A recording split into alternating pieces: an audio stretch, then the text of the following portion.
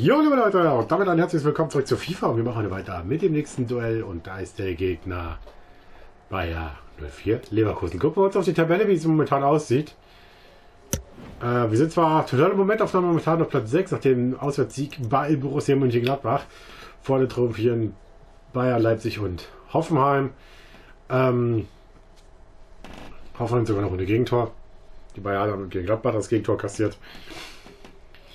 Naja, wie dem auch sei, wir haben trotzdem unsere Punkte. Wir sind vier Punkte, wir sind, also haben jetzt vier Punkte, zwei Punkte in der Spitze. Wir stehen momentan tatsächlich auf einem, äh, einem Europa League Platz, was natürlich geil wäre, was aber wahrscheinlich nicht so bleiben wird. Wobei, insgesamt spielen wir tatsächlich. Spielen wir eigentlich jetzt international? Blöde Frage, blöde, blöde Frage, blöde Antwort. Ja, Freunde. Nö. Hier ist es zumindest noch nicht dabei. Hier ist auch noch nichts entschieden. Naja, guck mal, vielleicht haben wir ja. Vielleicht weiß ich nicht, den TV-Pokal vielleicht, weil dort, je nachdem wie Dortmund platziert war. Ich weiß nicht, ob es das Recht oder zu sagen, nö, nö, der Gewinner geht rein. Der Verlierer, äh, nö. Egal. Wird immer sein. Wenn wir heute Leverkusen schlagen würden, hätten wir sieben Zähler. Und Leverkusen wäre heute den nächsten Fehlstart. Gucken wir ganz nach unten nochmal schnell in die Tabelle, dann bevor ich jetzt hier weitermache, gleich mit dem Duell heute. Da steht momentan Borussia Mönchengladbach. Die wir im letzten Spiel aus jetzt mit 3 zu 2 geschlagen. Ähm, glücklich, aber wir haben sie geschlagen. Wir haben die Punkte geholt. Wir haben vorher das 0 zu 0 gegen Dortmund gehabt, die auch nur einen Punkt auf dem Konto haben. Hätten wir die nämlich dann auch geschlagen, was mit ein Tor gemacht, hätten die auch 0 Punkte. Wie dem auch sein. Ich bin zufrieden.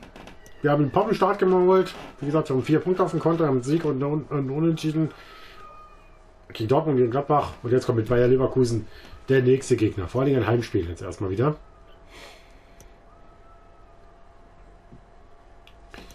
So, gucken wir mal rein.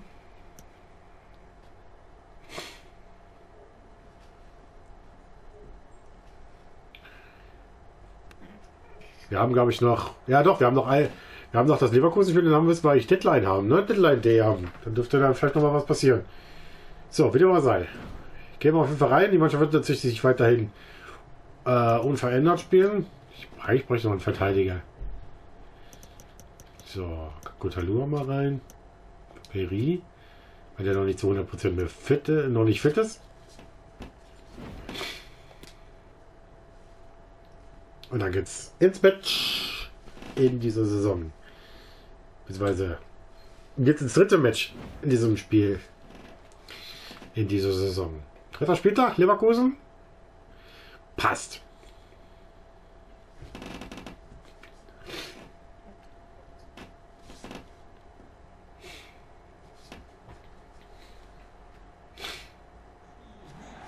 Herzlich willkommen, liebe Zuschauer. Wir begrüßen Sie zur heutigen Partie. Mein Name ist Wolf Fuß. Neben mir hat Frank Buschmann Platz genommen und wir werden das Spiel für Sie kommentieren. Und heute zeigen wir Ihnen ein Spiel aus der Bundesliga. Und das ist eine Partie, die schon im Vorfeld für viel Gesprächsstoff gesorgt hat. Ja, das ist durchaus kein Spiel wie jedes andere. Die Gastgeber haben in den ersten beiden Spielen eine hervorragende Leistung gezeigt. Vier Punkte haben sie auf dem Konto. Man hatte mit deutlich weniger gerechnet. Und das zeigt schon, die sind stark. Da hat es im Moment jeder Gegner schwer.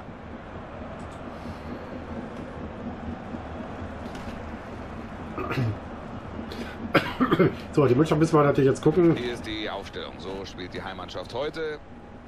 Sie greifen heute zu einem offensiven 4-5-1. Ja, sie wollen also mit einem geballten Mittelfeld zum Erfolg kommen, wollen viel mhm. Druck ausüben und äh, den Gegner zu Fehlern zwingen.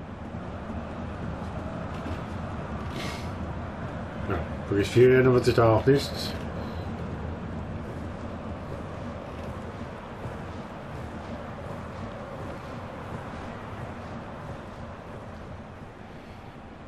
Bayern 04 Leverkusen beginnt in diesem Spiel mit dieser Aufstellung. Und auf der Gegenseite sehen wir auch eine offensive Ausrichtung. Tatsächlich treten sie in der gleichen Formation an. Ja, das kann was werden.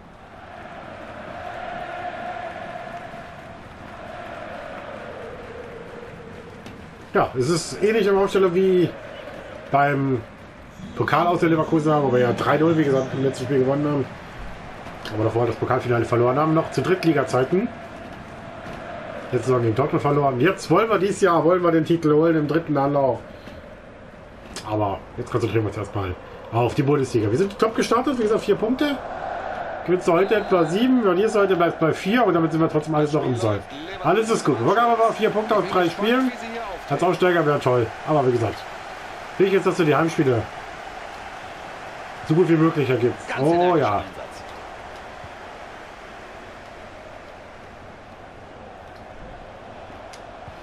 Guter Pass.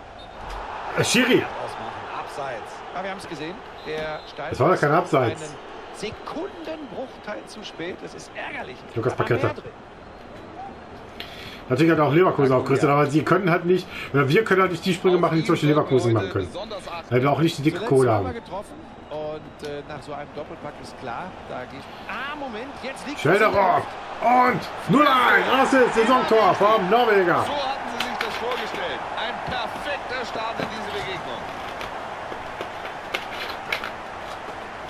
Das Tor nochmal in der Wiederholung. Erst der gefährliche Steilpass und dann sehen wir, es wird eng, es ist kaum Platz da, aber er setzt sich trotzdem durch. Exzellent.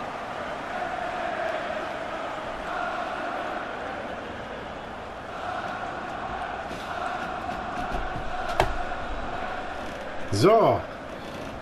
Haut er hier schön hinten ins lange Eck. Erstes Saisontor für den neuen Linksaußen. Passt also. Sie sind jetzt also in Führung. 1-0.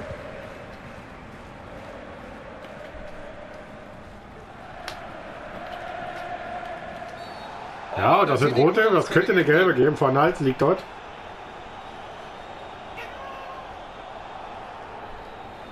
Schiedsrichterin zeigt Ja. gelb, richtig, wie ich finde. Sie Kann man so geben. schon in dieser frühen Phase zeigen, dass sich die Teams zurücknehmen sollen. Ja, gut gemacht. Jetzt wissen hier alle, woran sie sind und können sich darauf einstellen. Acuna! 1-1. Das nächste Tor, diesmal auf der anderen Seite. Ausgleich. Hier geht's jetzt Schlag auf Schlag. Unwiderstehlich drischt er den Ball hier ins Tor. Ein Strahl. Also dafür brauchst du schon eine ordentliche Schusstechnik.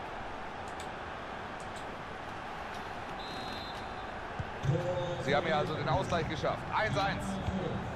So, mal eben schnell ins Studio. Da gibt's was Neues zur Partie im Mann, Mann, Mann, Mann, Park. Es ist ein Tor gefallen. Ja, Ja, schade. wir haben hier das erste Tor für Bielefeld. Torschütze war Milot Rashica. Ja, da muss er nur noch den Fuß hinhalten. Rashica, drin spielt Bielefeld jetzt? Neuer Spielstand damit 1 zu 0. Gespielt sind 13 Magala. Minuten. Interessante Info. Dankeschön dafür. Frühes Stören jetzt. Fischer. Da kommt der Pass. Sterner. Und Ecke. dazwischen. Geht Ecke, gut geklärt. Was kann der Außenseiter jetzt hier aus dieser Chance machen?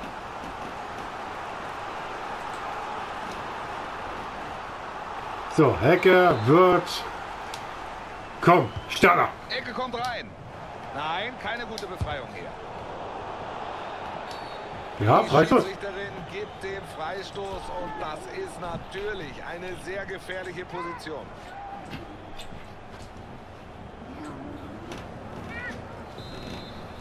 So, es darf mal wieder daran. Jonas Sterner nämlich.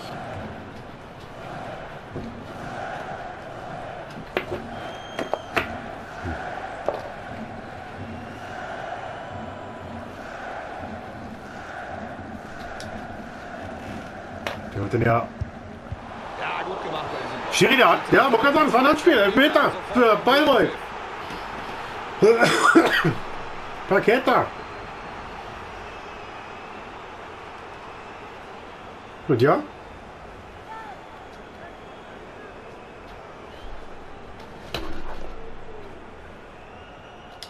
Ja, Die der. Chance jetzt zur erneuten Führung. Geh rüber.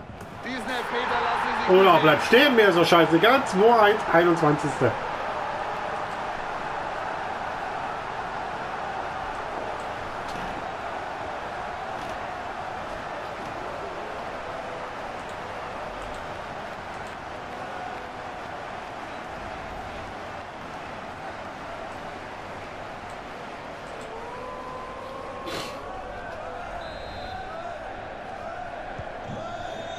Jetzt steht es hier 2 zu 1. Eine enge Kiste. Gut durchgesetzt, gefährlich. Ah, Spoon. Was Und für ein 2-2. Spiel. Es geht hin und her. Den haben sie mal gar nicht angegriffen. Den haben sie gesagt, ja komm, lauf mal durch, mein Freund. Alles wieder offen. Da sehen wir diesen wunderbaren Alleingang nochmal. Keiner kann ihn aufhalten. Er lässt die Abwehr einfach stehen. Das ist unwiderstehlich, wie er da abgeht.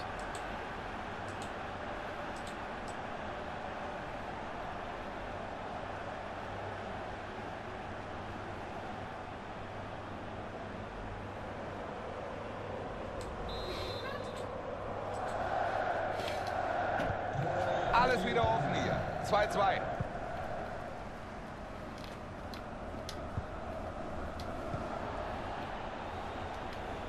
Super, wie er sich So, durchsetzt. no war. Der hat ja noch gar nichts heute getroffen. Könnte die Führung werden. Und. Tolle. Aktion, was für ein Wahnsinnsreflex. Da kommt die Ecke. Sie BAM! No war. Da ist er doch. 3-2, 28 ist er. Richtig stark.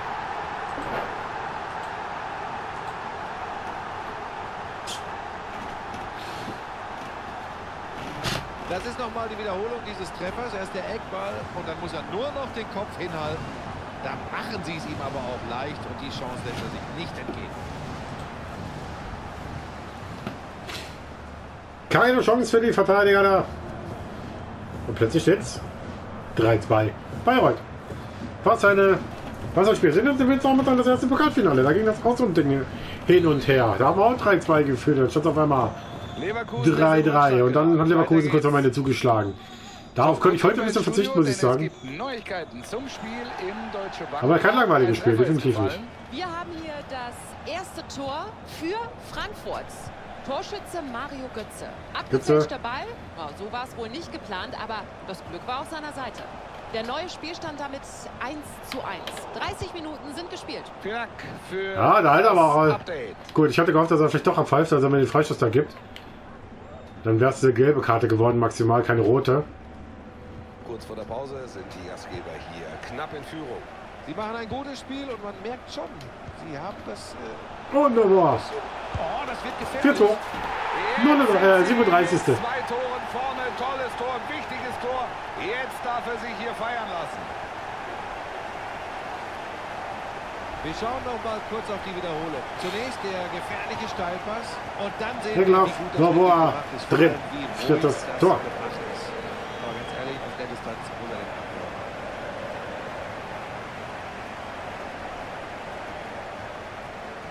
Ganz entspannte Minen auch am Spielfeldrand. Die deutliche Führung.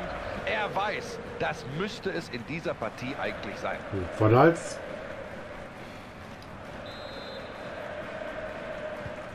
Neuer Spielstand 4 zu 2. Sechs Frage, ist Treffer Verletzung oder so? Warum er jetzt vom Leverkusen den jetzt rausnimmt? Mount. Über das Neue drin jetzt, wenn du. Sauber vom Ball getrennt hier. Vielleicht jetzt mal Bayern 04. Aber wir sehen's. Ballverlust.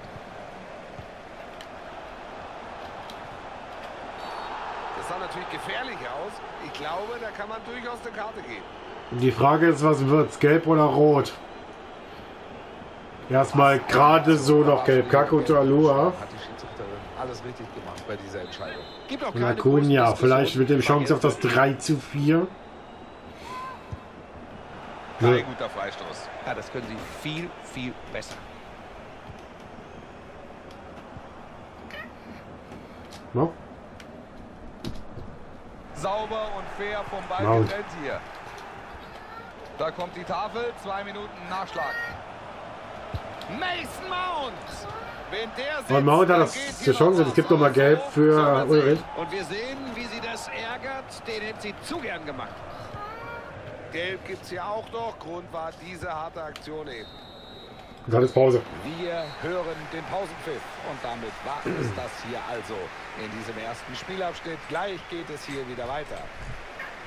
Also, der macht hier bislang einen richtig guten Eindruck. Hatte einige gute Szenen heute und dann war es ja klar, dass er seine Tore macht.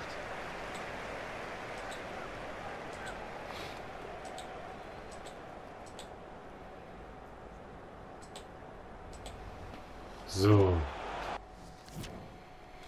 Kurz auf die andere Stelle. Dortmund im kleinen Derby gegen Bochum jetzt auf 1-0. So, wir müssen jetzt durchwechseln. Wir haben drei gelb belastete Spieler, die da heute die vom Platzverweis bedroht sind, eventuell. Dementsprechend wird natürlich jetzt drei Wechsel vollzogen. Das war Pause. Wie gesagt, das war mir da irgendwie vom Platz fliegt heute. Pause ist vorbei, das Spiel geht weiter.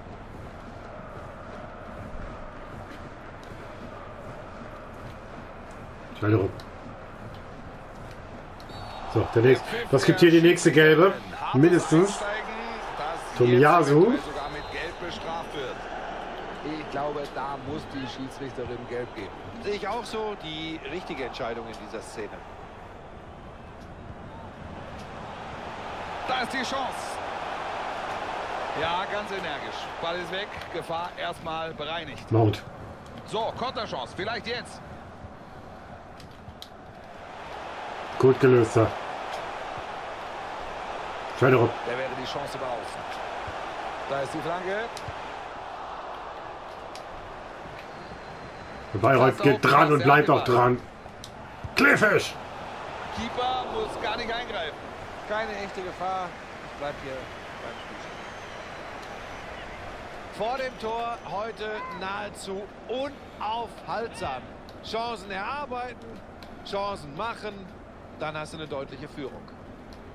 Acuna. Viele hatten ja schon damit gerechnet und jetzt steht es auch endgültig fest. Er verlässt den Verein, er wird also wechseln. Dem steht eine tolle Zukunft bevor. Das sehen alle Experten so. Kannst du fragen, wen du willst. Das wird ein Star. Flanke jetzt auf den langen Pfosten. Die Flanke holt er sich. Was ist los? Ball kommt. Die Chance jetzt. Manisek, Damit sind sie 5-2. nun mit drei Toren vorne, machen heute wirklich einen exzellenten Eindruck. Das ist nochmal die Wiederholung dieses Tores. Er setzt sich durch und dann setzt er sich durch. Willensstark. Das zeichnet ihn einfach aus. Er lässt der Abwehr keine Chance. Große Freude auch am Spielfeldrand. Er ist zufrieden mit der Leistung seiner Mannschaft. Das müsste es doch eigentlich jetzt sein. Und jetzt haben wir hier noch einen Treffer. Mittlerweile steht es 5 zu 2. Erstes Saisontor. Von Marvin Wanicek, der Neuzugang vom KSC. Das kann gefährlich werden jetzt.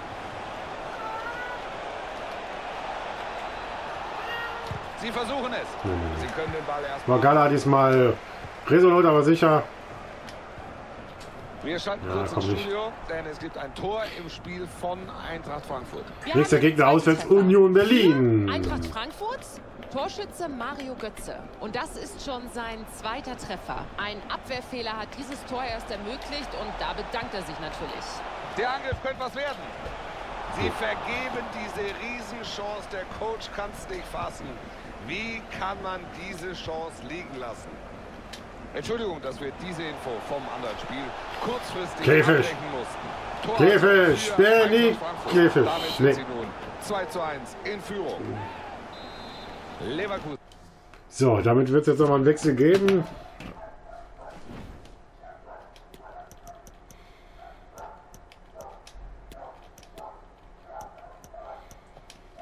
Also mich der letzte jetzt ein 2 Mit dem Wechsel. und damit hätten wir also alle 5.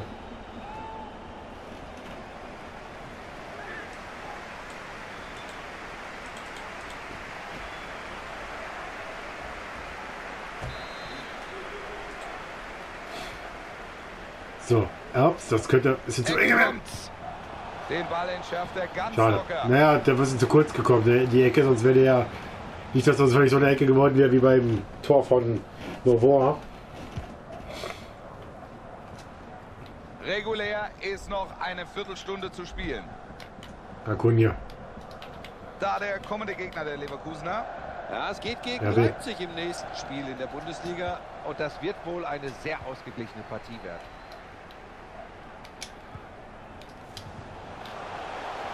Schneller Ball auf Kilian Fischer. Da musst du langsam aufpassen. Weiter dieses Dribbling. Da haben sie die Chance. Drin. So, Eckloff. 6 zu 2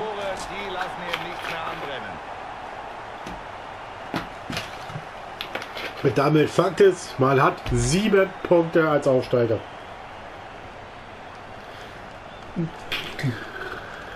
Schau nochmal auf die Wiederholung. Das ist ein richtig gut gespielter Konter. Und dann macht das stark.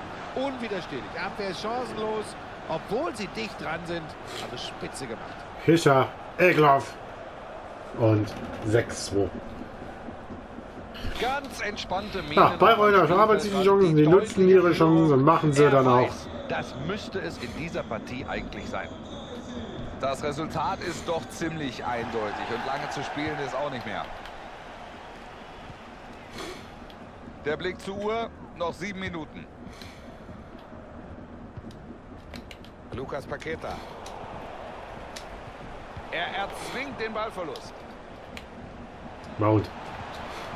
Morgana. Und kocht ihn ab. Stark gemacht, das könnte was werden. Und Tor. 7 zu Sind 2. Ganz einfach überlegen. Das ist jetzt nur noch ein Trainingsspiel für sie. Der Aufsteiger überrollt die Schauen Leverkusen. uns nochmal die Entstehung des Tores an. So, da ist der Konter. Und dann gibt es dann nichts mehr zu halten. Ein unglaublich wuchtiger Ball, ein Hammer. Drin ist er. Yes!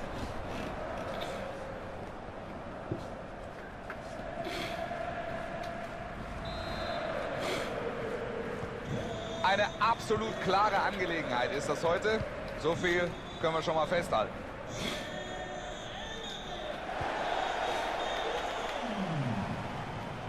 Es wird zwei Minuten Nachspielzeit geben.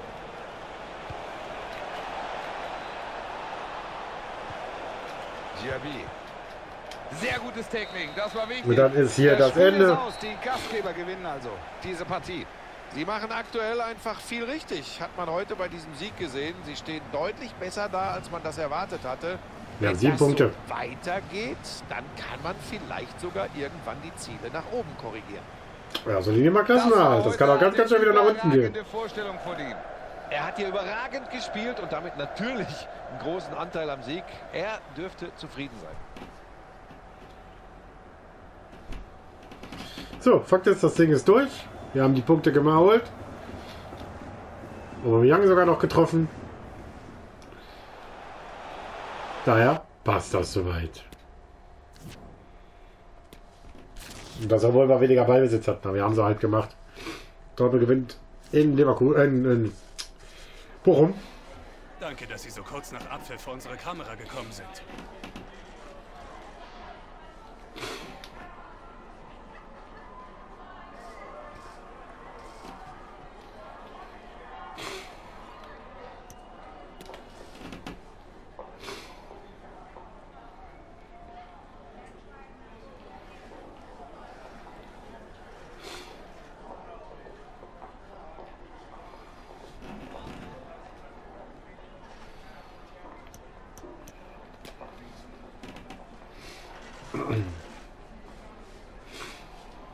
Wir haben gekämpft. Klar, natürlich die gelbe Karte, aber wir haben es trotzdem geschafft.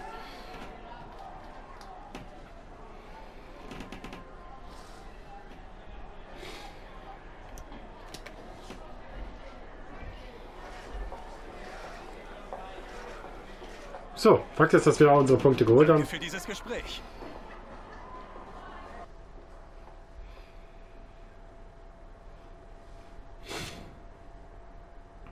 So, gucken wir kurz auf das Ende von der Transferperiode. Mal gucken, was da passieren wird.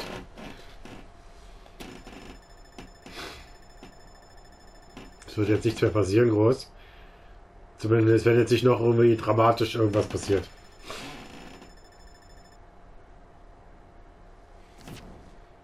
Morgala. 2,9 Millionen für durch Empoli. Nö.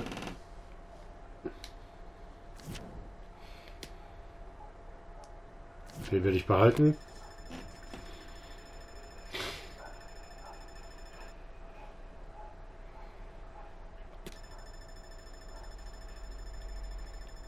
Wie gesagt, wenn jetzt nicht noch dramatisch irgendwas passiert, wird jetzt wird jetzt kein weil sonst muss ich nochmal springen.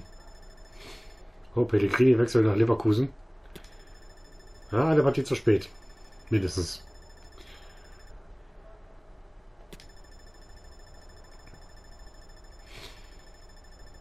Coutinho zurück nach München. Transfer. Ja, natürlich. Brauche ich mir gar nicht anzugucken. Will ich gar nicht.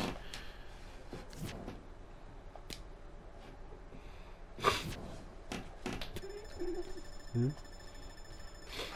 Willig nach Mainz.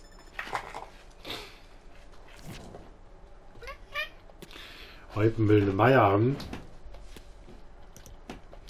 Das ist genau das, was ich meine. Wenn da irgendwas passiert, jetzt noch dramatisch ist, wird da, da werde ich nämlich nochmal reagieren müssen auf den Transfermarkt.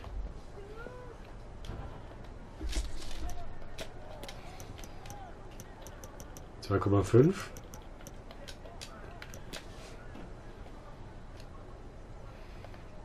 So was wir jetzt haben? 2,05.